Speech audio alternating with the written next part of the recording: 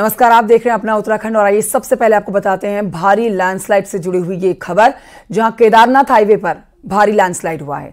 तस्वीरें भी हम आपको दिखा रहे हैं। डोलियो देवी पर बड़ी चट्टान जो है, वो नीचे आ गई है सड़क के ऊपर। इसका एक बड़ा टुकड़ा जो चट्टान के समान ही है। गनीमत रही कि जिस समय ये हादसा हुआ, ये भूस्खलन हुआ, उस समय सड़क पर कोई नहीं था, वरना जान का नुकसान बड़े स्तर पर होता। ये हादसा उस जगह हुआ है जो चलता हुआ रोड है, जहाँ से अमूमन कई गाड़ियाँ गुजरती हैं हर रोज़। केदारनाथ हाईवे पर बारिश की वजह से यह हादसा हुआ, भूस्खलन हुआ। पहाड़ी का बड़ा हिस्सा सड़ा, सड़क पर आके धड़ाम हो गया है। सड़क बंद हो गई, दोनों तरफ़ से आवाजाही पूरी तरह से बंद हो रखी है। प्रशासन की टीम बंद हाईवे को खोलने के काम में जुटी हुई है।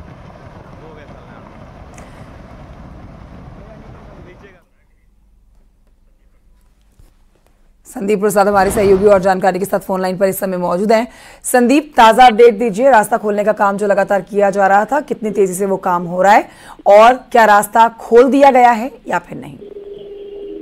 जी, बिल्कुल आपको बता दूँ कि जो वहाँ पर जो सुबह मार्ग बंद हुआ था बोल्डर गिरने से अभी इसको खोल दिया गया है और फ़िलहाल अभी वहाँ पर वाहनों की आवाजाही शुरू हो चुकी है। लेकिन मैं आपको बता दूँ कि जिस तरह केदार घाटी में लगातार वहाँ पर बारिश हो रही है, रोज वहाँ पर कई जगहों पे सड़क पर स्लाइडिंग हो रही है। इससे कहीं ना कहीं खतरा जो है, वो बना हुआ है। लेकिन अभी जो है, केवल केदारनाथ धाम के लिए हेली यात्रा है। इसलिए यात्रियों की संख्या आजकल बहुत कम है तो इससे वहाँ पर इतना आवागमन नहीं है कि जाम की समस्या वहाँ पे पैदा हो। लेकिन कहीं ना कहीं जो स्थितियाँ लगातार बारिश से स्लाइडिंग जोन के चलते खतरा वहाँ पर बरकरार रहेगी बहुत शुक्रिया आपका संदीप जानकारी के लिए।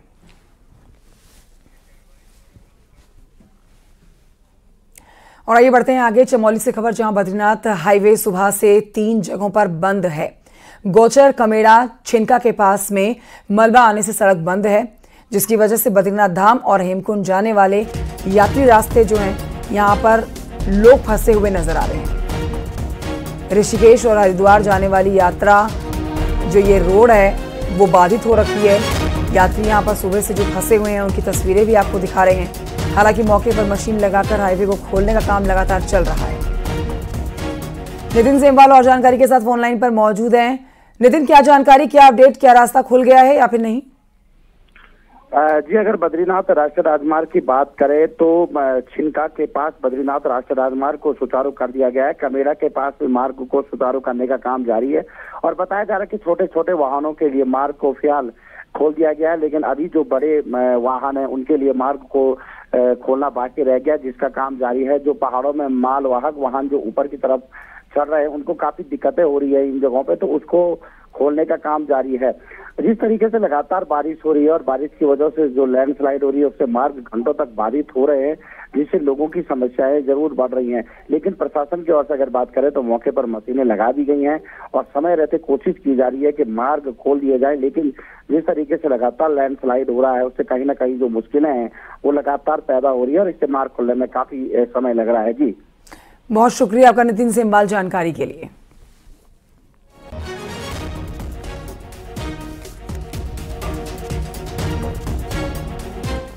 चमोली से अगली खबर, जहाँ पर थराली देवाल सड़क बंद हो गई है।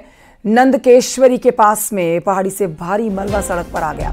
पहाड़ी से रुक रुक कर पत्थर गिर रहे हैं, जो खतरे का सबब बन रहे हैं। बारिश के बाद कई जगहों पर लैंडस्लाइड जोन बन चुके हैं। भूस्खलन हो रहा है। चमोली में कई ज़िले में कई जगहों पर 12 से ज़्यादा सड़कें बंद हैं।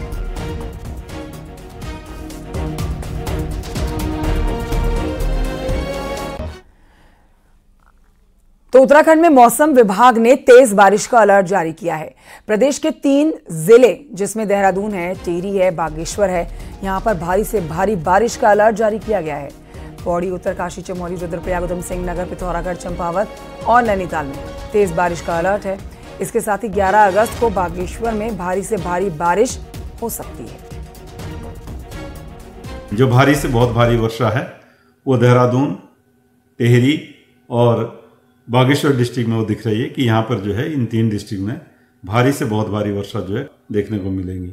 इसके साथ भारी वर्षा की बात करें तो जो अन्य हमारे डिस्ट्रिक्ट है, हिल्स के, चाहे उसमें उत्तरकाशी है, चमोली है, रुद्रप्रयाग है, या इसी तरह कुमाऊं रीजन में है पिथौरागढ़ है या चंपावत है, नैनीताल है, और इधर में पौड़ी की भी बात करें तो पौड़ी में भी भारी बारिश की जो है संभावना और जगह में भी है।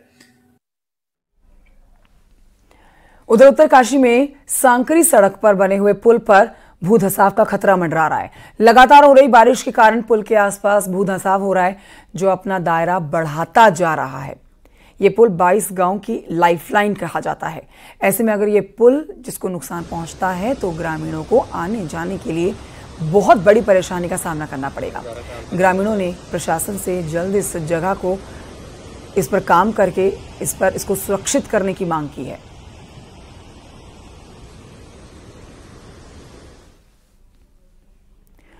उधर टिहरी में बूढ़ा केदार क्षेत्र के विनकहाल इंटर कॉलेज राहत कैंप में रह रहे आपदा प्रभावित लोग अब आसपास के इलाकों से किराए के मकान में रहने लगे हैं, जिसके लिए प्रशासन आपदा पीड़ित परिवार को चार हज़ार रुपये महीने देगा। साथ ही प्रभावित ग्रामीणों को बर्तन और ज़रूरी चीज़ों के लिए पाँच हज़ार रुपये दिए गए हैं। 27 जुलाई को आई हुई प्राकृतिक आपदा के बाद में तौली और तिनगढ़ गाँव के करीब 80 परिवारों को विनकखाल इंटर कॉलेज में राहत कैंप में रखा गया था। लेकिन अब कॉलेज में क्लासेस शुरू होने के चलते करीब 30 परिवारों ने कैंप छोड़ना उनको पड़ गया है। यहाँ डीएम का कहना है कि आपदा प्रभावित ग्रामीणों के विस्थापन के लिए कार्रवाई की जा रही है और ज़मीन का फाइनल निर्णय होने के बाद ही विस्थापन शुरू किया जाएगा। जो परिवार हमारे रिलीफ कैंप में रह रहे थे, उसमें कुछ परिवार की भी सहूलियत दी गई है राज्य सरकार के द्वारा कि वो चाहे तो किराए पर भी रह सकते हैं छः माह के लिए और जो भी किराया व्यवस्था होगी वो राज्य सरकार द्वारा वहन की जाएगी। तो इसी क्रम में अभी तक हमको जो सूचना मिली है, तैंतीस परिवारों द्वारा ये ऑप्शन लिया गया है कि वो आसपास अपने गाँव के अपने जो भी नियर बाय टाउनशिप है, वहाँ पर किराए पर जाएँगे। उत्तराखंड के सबसे बड़े गंगोत्री ग्लेशियर के मुहाने पर पिछले पाँच सालों में तेज़ी से बदलाव आ रहा है।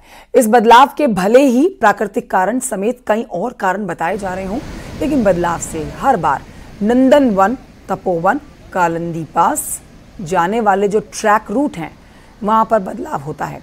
बर्फबारी ना होने से ग्लेशियर नहीं मिल पा रहे हैं। इसको लेकर ग्लेशियर वैज्ञानिकों के अलग अलग मत हैं। वर्तमान की परिस्थितियाँ देखी जाती है तो इस समय बिल्कुल आ, अलग से भोजबासा से ट्रॉली से आ, ट्रॉली से पार जाना पड़ता है उसके साइड ही साइड से फिर हम तपोवन के लिए जाते हैं। तो ग्लेशियर में हर साल कुछ ना कुछ बदलाव आ रहा है कभी इधर को कभी उधर को और ये इस प्रकार से। मैंने ये पाया है कि वहाँ के रास्ते बदल गए हैं वहाँ का जो एटमोसफेयर बदल गया है और निश्चित ही ये तो हिमालय की एक अपनी एक गतिविधि है, उस गतिविधि के अनुसार ये सब चीज़ें हो रही हैं। और हमको इनको सुरक्षित करना है, सुरक्षित करना है सुरक्षित करना है, इनको समझना है कि हिमालय क्या कह रहे हैं। उत्तराखंड और यूपी के बीच में परिसंपत्तियों के मसले अभी पूरी तरीके से नहीं सुलझ पाए हैं। हरिद्वार, नानकमत्ता, चंपावत में समझौते के बावजूद ज़मीन नहीं मिल पाई है। पुनर्गठन मंत्री प्रेमचंद्र अग्रवाल का कहना है कि उत्तराखंड अपनी एक एक इंच ज़मीन लेगा। क्योंकि ये उत्तराखंड का हक है। उन्होंने कहा कि हरिद्वार में मेले के लिए ज़मीन मिल चुकी है, लेकिन आज भी परमिशन यूपी से ही लेनी पड़ती है। सैकड़ों हेक्टेयर की ज़मीन यदि हमारे क्षेत्र में हरिद्वार में छह पंद्रह हेक्टेयर शायद है तो इस प्रकार के लिए एक छह हेक्टेयर। तो ये सारी चीज़ों के लिए हम अपना दावा क्यों ना करें? हम दोबारा बातचीत क्यों ना करें? ये निर्णय हो चुके हैं। आज जैसे छह सौ पंद्रह हेक्टेयर पे जियो होना बाकी निर्णय हो गया। लेकिन छह सौ सैंतीस बचा है, छह सौ सैंतीस हेक्टेयर तो उसमें हमने कहा इसमें हम दोबारा से बातचीत करते हैं। तो मेरा मतलब यह कि हम अपने प्रदेश के लिए जितना ज़्यादा ज़्यादा हम ले सकें, वो हमारा प्रयास है। और आइए आगे बढ़ते आपको बताते हैं कि परिसंपत्ति मामले में पूर्व मुख्यमंत्री हरीश रावत का कहना है कि जहाँ हमारी सरकार ने चीज़ों को छोड़ा था, वहाँ से तिल भर भी बात आगे नहीं बढ़ी है। वहीं आपको बताएँगे, बीजेपी के दो मुख्यमंत्री उत्तर प्रदेश को बधाई भी दे चुके हैं, लेकिन हुआ कुछ भी नहीं है। देखिए रिपोर्ट। नहीं भाजपा के दो दो चीफ मिनिस्टर जो है, गुणगान भी कर चुके और कुछ भी अभी तो राई रत्ती एक एक धेले का फ़र्क नहीं आया। जितनी चीज़ें हमारे समय में निर्धारित हुई थी, उससे आगे एक इंच नहीं बढ़ पाए। और आइए आगे बढ़ते आपको बताते हैं, मुख्यमंत्री पुष्कर सिंह धामी ने पहले मंत्रियों को लेटर लिखकर प्रभारी जिलों में किए दौरों की डिटेल मांगी है तो वहीं सीएम धामी ने एक और बड़ा बदलाव किया है। मुख्यमंत्री अब विभागों की मीटिंग सचिवालय में नहीं, बल्कि उसी विभाग में जाकर करेंगे। रिपोर्ट देखिए।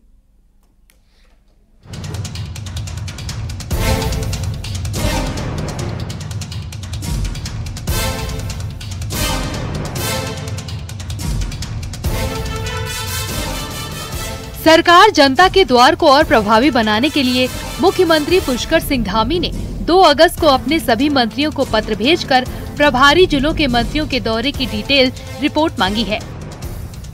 मकसद है कि सरकार और जनता के बीच संवाद बना रहे। ठीक इसी तरह की शुरुआत मुख्यमंत्री ने अब सरकार के कामकाज में भी शुरू कर दी है। अब तक विभागीय समीक्षा बैठकें सचिवालय में हुआ करती थी, जहाँ सिर्फ़ विभागों के अफसर शामिल होते थे। लेकिन अब संबंधित विभागों के ऑफ़िस में जाकर ही मुख्यमंत्री समीक्षा करेंगे, ताकि मुख्यमंत्री बाकी स्टाफ से भी मुलाकात कर सके। सीएम का कहना है कि इससे लोगों को ज़िम्मेदारी का एहसास भी होगा। नहीं, हमारे सारे मुख्यालय एक्टिवेट होंगे, जिलों के कार्यालय, ब्लॉकों के कार्यालय, नीचे तक की इकाई को एक्टिवेट करना इसके पीछे उद्देश्य है। सारे लोग जो है क्योंकि अपने अपने जो विभाग हैं, उनके मुख्यालयों का, उनके महत्व को समझें। और मैं स्वयं चूँकि राज्य का मुख्य सेवक हूँ तो मैंने ये पहल इसीलिए की है कि ताकि कोई भी विभाग ये न समझे कि हमारा महत्व कम है, सभी हमारे लिए महत्व सरकार के इस कदम से बीजेपी संगठन भी खुश है। पार्टी संगठन का कहना है कि इससे जहाँ सरकार में लोगों की समस्याओं का समाधान भी रफ्तार से होगा। हर अधिकारी को अपनी ज़िम्मेदारी का पता लगेगा। माननीय प्रदेश के मुख्यमंत्री किसी कार्यालय में जाएँगे तो कार्यालय भी अपडेट होगा, उसकी सुविधाएँ चुस्त दुरुस्त होंगी और सबको अपनी ज़िम्मेदारी का एहसास होगा। ये माननीय मुख्यमंत्री जी की बहुत अच्छी पहल है, बहुत अच्छा निर्णय है। मैं समझता हूँ कि इससे जनता के काम भी जल्दी होंगे और जनता को न्याय भी मिलेगा, जनता की जो आवश्यकता है, उनकी भी पूर्ति होगी। मुख्यमंत्री पुष्कर सिंह धामी बाकायदा इसकी शुरुआत भी कर चुके हैं। मुख्यमंत्री ने इसी हफ़्ते सूचना निदेशालय पहुंचकर वहाँ एक एक सेक्शन का निरीक्षण किया और फिर कामकाज की समीक्षा की। जबकि गुरुवार को दिल्ली जाने से पहले भी सीएम ने इंदिरा नगर स्थित जलागम के ऑफ़िस में पहुंचकर कामकाज की समीक्षा की। देहरादून से न्यूज़ 18 के लिए सुनील नौप्रभात की रिपोर्ट।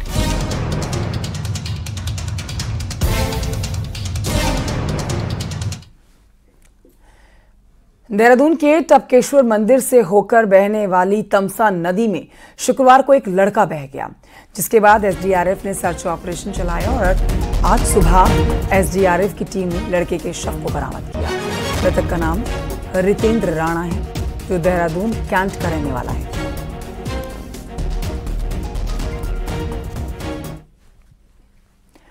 हरिद्वार में दुकान में घुसे चार हथियार बंद बदमाशों ने लाखों की लूट की घटना को अंजाम दिया।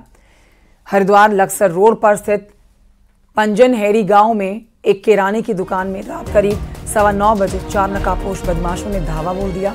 लूट की वारदात को अंजाम दिया।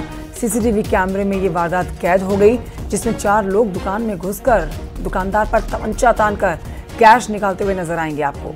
दुकानदार का कहना है कि बदमाश कैश के अलावा उसके गले से सोने की चेन भी छीन कर भागे हैं। उसे करीब पाँच लाख रुपए की लूट की गई है। लूट की सूचना पर पुलिस बदमाशों की अब खोजबीन कर रही है।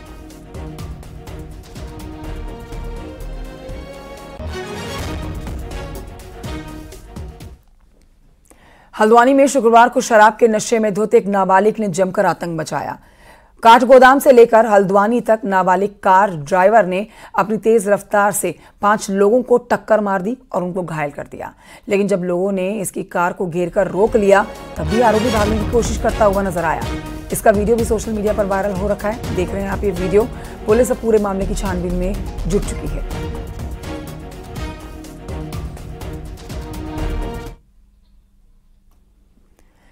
ऋषिकेश में नियमों के विरुद्ध चल रही गाड़ियों के खिलाफ शुक्रवार देर रात से शनिवार तड़के तक ताबड़तोड़ कार्रवाई हुई है, जिसमें 32 गाड़ियों और उनके ड्राइवर्स के खिलाफ एक्शन लिया गया है। एआरटीओ कार्यालय के मुताबिक 10 ड्राइवर्स बिना लाइसेंस के पकड़े गए हैं। वहीं कुछ अन्य के खिलाफ बिना फिटनेस के गाड़ी चलाने का भी यहाँ पर चालान काटा गया है। ओवरलोडिंग जैसे नियम विरुद्ध कामों के लिए भी यहाँ पर अब कार्रवाई की गई है।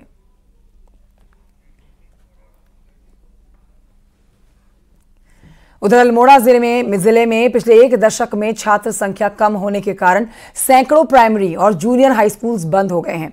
और इस साल भी 50 फ़ीसदी स्कूलों में नया एडमिशन ही नहीं हुआ है। देखिए रिपोर्ट।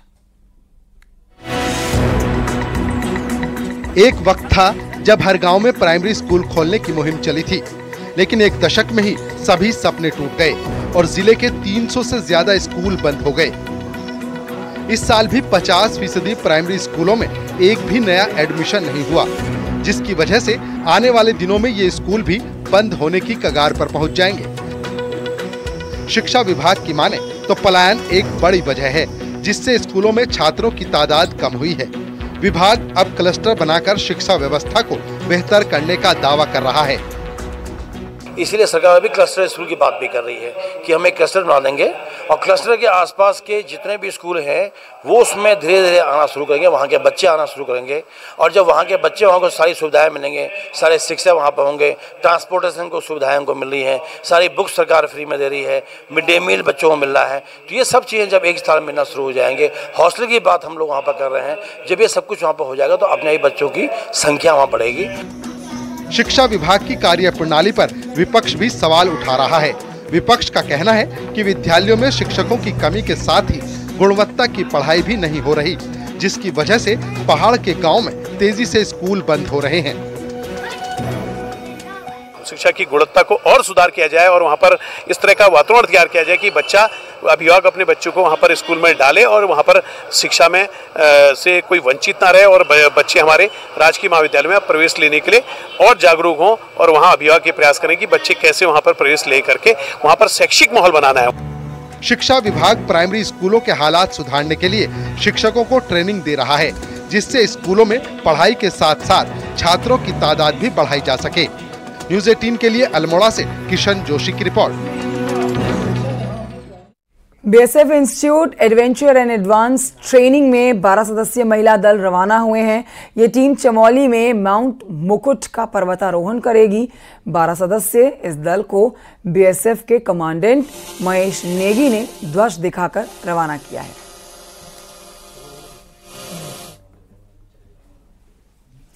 अल्मोड़ा से खबर, जहाँ की ऐतिहासिक जेल, जो कि 1872 में अंग्रेज़ों ने बनाई थी।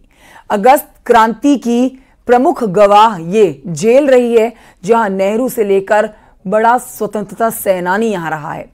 ये जेल, जिसे आज तक राष्ट्रीय स्मारक घोषित नहीं किया है, जिसकी लोग मांग कर रहे हैं। देखिए रिपोर्ट।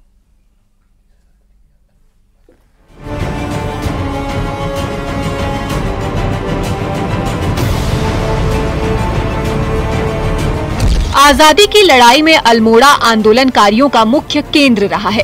यहाँ की जेल में प्रमुख आंदोलनकारियों को अंग्रेज़ों द्वारा बंद किया गया। जवाहरलाल नेहरू दो बार इस जेल में बंद रहे। नेहरू ने अपनी बुक मेरी आत्मकथा के कुछ अंश भी इसी जेल में लिखे हैं। नेहरू की चारपाई, कुर्सी, चरखा, खाने के बर्तन जेल के नेहरू वार्ड में आज भी रखे हैं। इस ऐतिहासिक जेल में पंडित जवाहरलाल नेहरू, पंडित गोविंद बल्लभ पंत हरगोविंद पंत, दुर्गा सिंह रावत, सैयद अली जहीर, आचार्य नरेंद्र देव सरला बहन, बिस्नी देवी आदि यहाँ पर निरुद्ध रहे हैं। नेहरू वार्ड को कई सालों से पर्यटकों के लिए खोलने की योजना वर्षों से फाइलों में दौड़ रही है, लेकिन अभी तक कुछ नहीं हो सका है। इस जेल को लंबे समय से राष्ट्रीय धरोहर घोषित करने की मांग की जा रही है।